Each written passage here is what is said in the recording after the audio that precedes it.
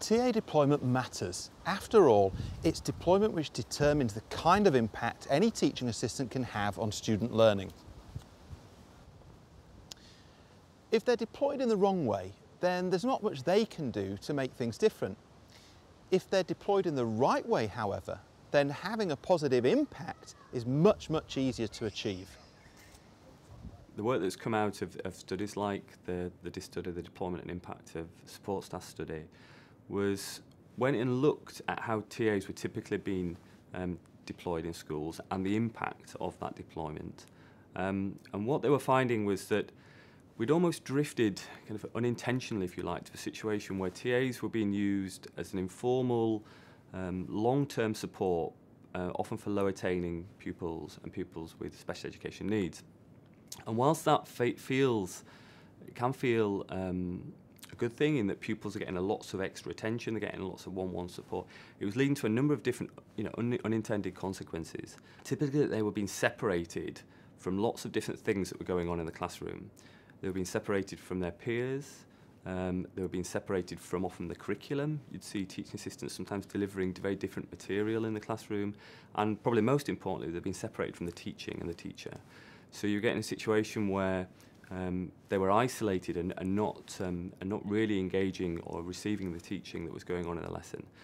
So the first recommendation is really to say, right, we need to rethink that and take a wider view of how um, TAs can support learning in the classroom in a way that it supplements but doesn't replace the teaching. We recognise that um, there are situations where TAs are going to be working more with low attaining pupils, um, and that's fine. Um, but the purpose of that work should be to help them access the learning, help them access the teaching that's going on in the classroom, not necessarily do a different set of teaching over there. So we've heard schools talk about a Velcro model of, of TA deployment.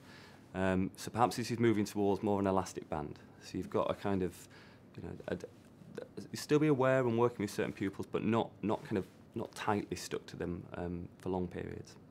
Can you tell us a little bit about the Making a Statement study? We were very interested off the back of this project in the experiences of children with the highest level of SEN. So these were children who have a statement for SEN. We are interested in their day-to-day experiences in uh, mainstream primary settings. Uh, and what we, we found in, in that project, and it built uh, quite a bit on what we learned in the DISS project, is that the children who, with the highest level of SEN, uh, the, the use of TAs is quite a strong uh, feature of their everyday classroom life and their, their week in schools. So um, we found that these children were uh, very often uh, spent more time out of the class compared to children who, who don't have SEN, uh, who don't have so much support from TAs. In fact, it was uh, something like one in five interactions that the, uh, the children with statements had with TAs, and it was about uh, uh, one in 50, I think, for the children without uh, TA support. So TAs make, uh, make up a, a large proportion of uh, the interactions and the experiences that children with, with uh, high level SEN have in schools. So is recommendation one partly about changing this business as usual that schools have been operating under?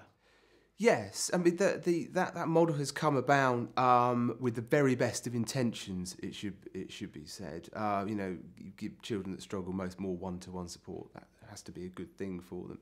Uh, the DISS project showed that there are unintended consequences about that. Thinking about TA deployment at school level means looking at current practice and considering how it might actually be getting in the way of good practice.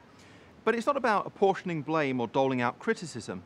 Instead, it's about going right back to the beginning so you can redefine the role that teaching assistants play in your school.